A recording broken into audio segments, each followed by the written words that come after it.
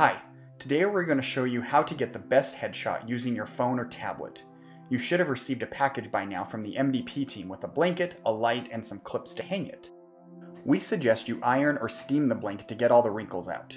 In this video, we chose not to iron half of the blanket so we can show you how to remove those wrinkles in Lightroom. But again, to avoid this extra editing work, we highly suggest you do it beforehand. Find somewhere with sufficient natural light to hang your backdrop and try to avoid yellow light bulbs. They will dramatically affect your final results. Choosing an outfit for your headshots is key. You want to avoid anything with bright patterns or bright colors, and definitely avoid competitor colors. Stick with blues, blacks, grays, even whites are okay. Throw on a vest or a blazer to add a little bit of extra dimension, but always remember patterns are bad, solid colors are good. Next, let's talk about body position.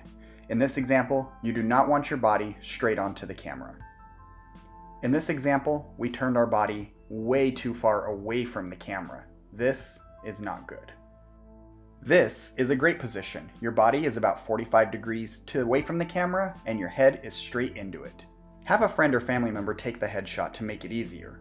Have them line you up in the frame and don't worry if there's actually overlap outside of the blanket. In this case, we try to get it just right on, but it's okay because we will be cropping later in Photoshop. Make sure your eyes are at the top of the frame, get a nice smile, and snap away. All right, let's talk about editing. Go ahead and open Lightroom on your tablet and import the image. This is the one that we've selected. I like my smile and I like the way my body position is. First thing I want to fix is getting rid of those wrinkles. At the bottom of your screen, you want to go over and select Healing. From there, you can adjust the size of your brush. And what you want to do is go ahead and color in an area that has the wrinkles. In this case, we're going to start on the left-hand side and I'm going to paint over those wrinkles. Next, I'm going to be able to select where I want it to take a sample from. In this case, I found a spot that doesn't have wrinkles and we're going to go off of that. Next, I'm going to select another healing brush and I'm going to get rid of the big wrinkles off to the left or right hand side here. In this case, going in small little chunks to achieve the best results. Let's watch as I go ahead and take out the rest of the wrinkles around my head. If you mess up, don't worry, there is an undo button at the top of your screen. Go in small sections to get the best results and highlight and refine your brush to get even more detailed.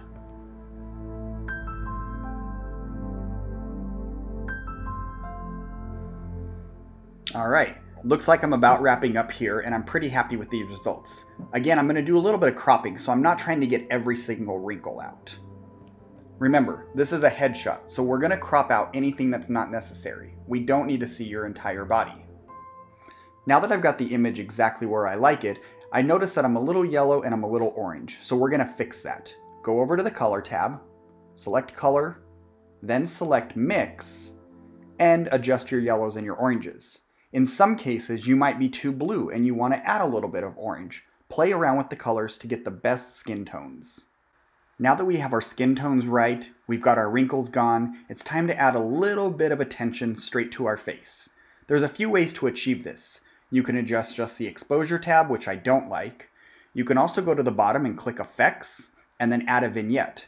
I also don't really like this approach either because it draws almost a perfect circle around the outside of the frames, and it's not very flattering. I'm going to show you a different way. The way I like to do it is go all the way to the bottom, scroll all the way to the left, and click the Selective tab. Click the, in the upper left-hand corner the circle, and draw a circle around your face. Get it as close to the face as possible, once you have the circle around your face, select the invert button. It's the black and white square just above the trash can.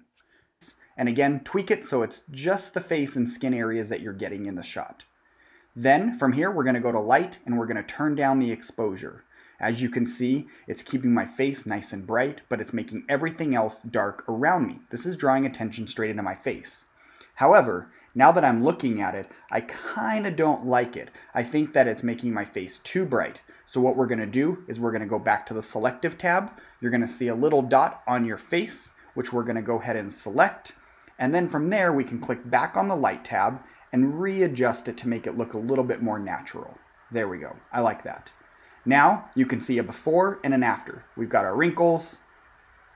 Now they're gone. You can see the light around the face. Everything looks great. Now we're going to save it. Go ahead and with the image selected, click the little export button at the top, click export to camera roll, and now that image is saved. Make sure to upload your new headshot to the MDP app as well as WebEx.